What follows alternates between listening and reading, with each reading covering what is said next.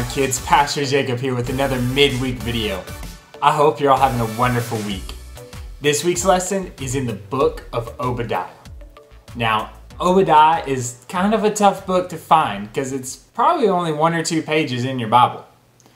Obadiah is in the Old Testament, and it comes after the book of Amos and before the book of Jonah. Now, before you just start flipping everywhere in your Bible trying to find Obadiah, I think this is a really good time to use your table of contents. Do you remember what your table of contents are? It's the page at the very front of your Bible that gives you the list of all the books in the Bible and also gives you a page number.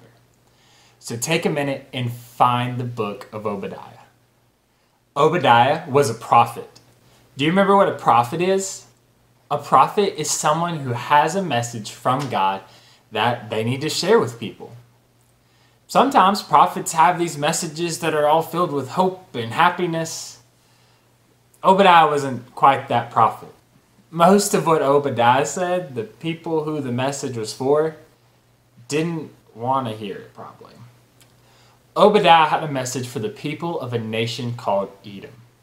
Let's get into our video and see what God wanted Obadiah to say. Hey everyone, it's me, Megan, and I'm Jessie. Jessie, that is a cool beanie you have on. It looks really warm. Thanks, Megan. It is. I helped my dad shovel snow at our neighbor's house. My mom made me put this on so I don't get sick. That was very smart of your mom.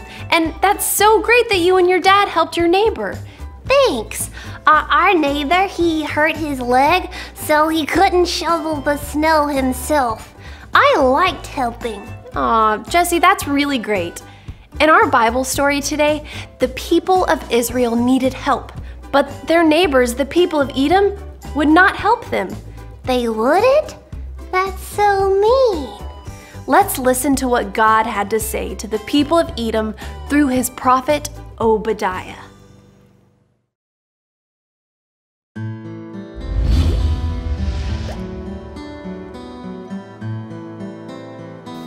Obadiah was a prophet. He listened to God and then he told the people what God said. God had a message for the people who lived in Edom. Edom was a country next to Judah where God's people lived. The people in Edom were not friends with God's people. They did not love God and worshiped things that were not God. The people in Edom lived in the mountains. They thought, these mountains will protect us, and we are strong. When the army from Babylon attacked Judah, God's people needed help. Did their neighbors in Edom help? No, they just watched. Some of them even went into Judah and took things that did not belong to them.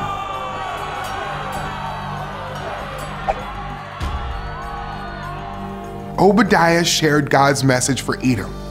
God said, Listen to me. I will make you into a small nation you will not be important, no one will like you. God also said, The mountains cannot protect you, they cannot keep you safe from my punishment.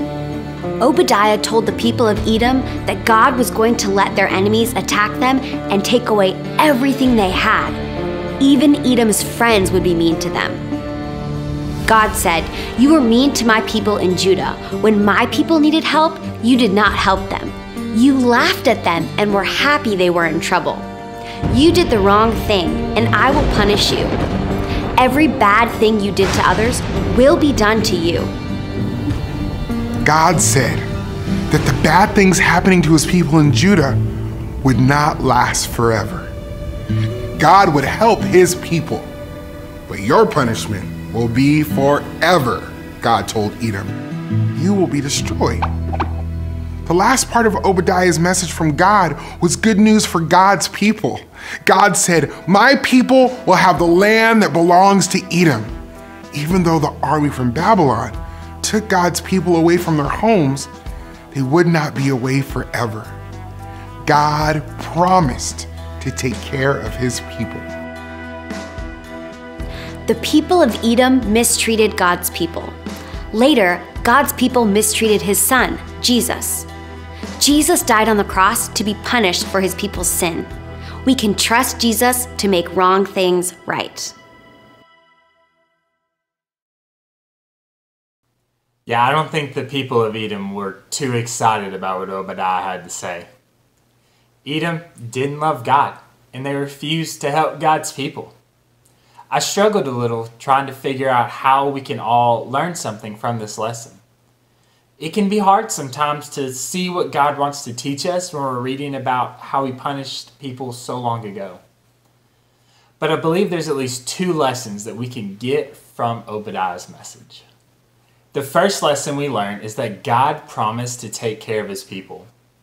At the end of Obadiah's message, God promised that the people of Israel would not be taken captive forever and that they would be a great nation again. God's promise to take care of his people is for us too. Jesus tells us in Matthew 7 that God is the good and perfect Father that knows how to take care of his children. So we too can hold on to the hope that God is going to take care of us. Another lesson I believe we can learn from Obadiah's message is learning to not act like the people of Edom. Edom was jealous of Israel. They didn't like Israel.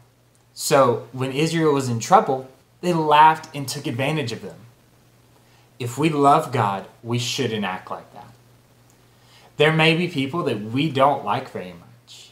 But if we're to live like Jesus, just because we don't like someone doesn't mean that we shouldn't help that person. We should always be willing to help people around us who are in trouble. Jesus would help and heal people who no one even wanted to touch. We need to have that same attitude and be willing to help anyone. This is a great lesson. It may not have been the happiest news at the time, but we learned that God will take care of his people. And we learned that we should be willing to help those who are in need of help. I hope you all have a wonderful rest of your week. And see if there's a way that you can help someone this week. Talk with your family about someone you know that may need help and how you can help. See you all real soon. Bye.